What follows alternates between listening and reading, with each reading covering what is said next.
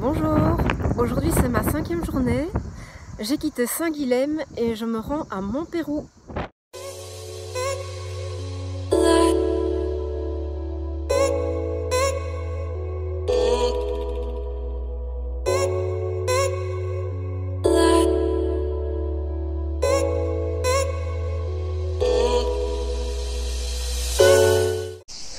Alors, hier soir, euh, j'ai enfin rencontré mon premier pèlerin qui a dormi à l'auberge avec moi. Du coup, on a passé une soirée vachement sympa à discuter de, sujets très intéressants. Enfin, c'était vraiment passionnant. On a parlé euh, de voyage, de, théologie, enfin, de philosophie. C'était vraiment, vraiment cool. Euh, là, ce matin, on est parti ensemble, mais il marche beaucoup plus vite que moi. Donc, je pense qu'il est en train de courir loin devant. Et moi là je suis un peu fatiguée, je m'arrête. Euh, en fait à la sortie de Saint-Guilhem c'est à nouveau une grosse montée. Et franchement l'autre jour je me plaignais de, la sortie de Montarno où c'était une montée de. C'était un dénivelé de 130 mètres.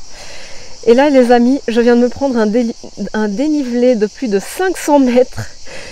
Et en fait ça va. Je me sens super bien. J'ai mal Alors, c'est pas que j'ai mal nulle part, euh, j'ai pas mal au dos, j'ai pas mal aux jambes, mais alors j'ai une énorme cloche sous le pied et celle-là les amis, elle fait super super mal. Mais en fait c'est tellement tellement beau que je fais abstraction. Oh là là, j'arrive pas à parler aujourd'hui. Je fais abstraction de la douleur et je me concentre juste sur l'instant présent.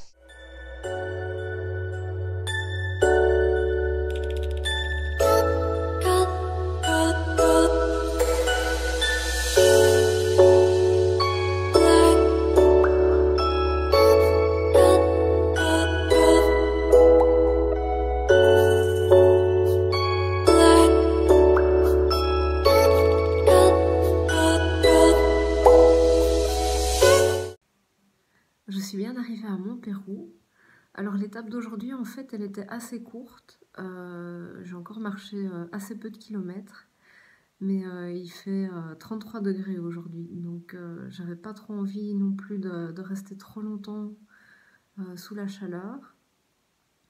Après la vidéo de tout à l'heure, j'ai suivi la ligne de crête pendant plusieurs kilomètres, je pense 5 ou 6. Et c'était super super beau. Euh, il y avait vraiment toute la vallée qui s'étendait devant moi, c'était impressionnant. Euh, la descente sur, euh, sur mon Pérou était très très chouette aussi. Un peu difficile, mais très très chouette. En fait, je suis. Alors, non seulement c'était très très beau, et je sais, j'arrête pas de dire que c'est très très beau, mais c'est parce que c'est très très beau. Donc euh, en descendant, je suis passée euh, à proximité d'un enclos néolithique. Ensuite, je suis passée le long d'un château médiéval. Euh, apparemment, il est mentionné déjà dès le XIe siècle dans les possessions de l'abbaye de, de Saint-Guilhem. Et en fait, la suite de la descente à partir du château, c'est un chemin de croix. Donc il y avait des croix plantées de manière assez régulière le long de le long du chemin. Ça, c'était euh, intéressant. Et euh, quand je suis arrivée dans le village, en fait, mon ami pèlerin d'hier euh, m'attendait pour me dire au revoir, parce que lui continuait plus loin aujourd'hui. C'était vachement sympa de sa part. ça m'a vraiment, fait, vraiment fait fort fort plaisir. après avoir mangé, en fait, je me suis posée sur un banc parce que le gîte que j'avais réservé pour ce soir, en fait, euh, n'était pas accessible avant 17h. Et euh, donc j'étais là posée euh, tranquillement en train de lire mon livre. Et il y a un groupe de, personnes, d'amis, qui sont, qui sont venus me parler en me disant Ah, tu pèlerines, tu fais le pèlerinage de Saint-Jacques, viens on va t'offrir à boire et tout. Donc ça, c'était trop cool. On a discuté euh, pendant une bonne heure. Euh, c'était vachement sympa, vraiment. Et en partant, ils m'ont offert des croissants pour mon petit déjeuner demain matin. Donc ça, c'était hyper sympa aussi. Et voilà, l'arrivée à l'auberge était vraiment chaleureux.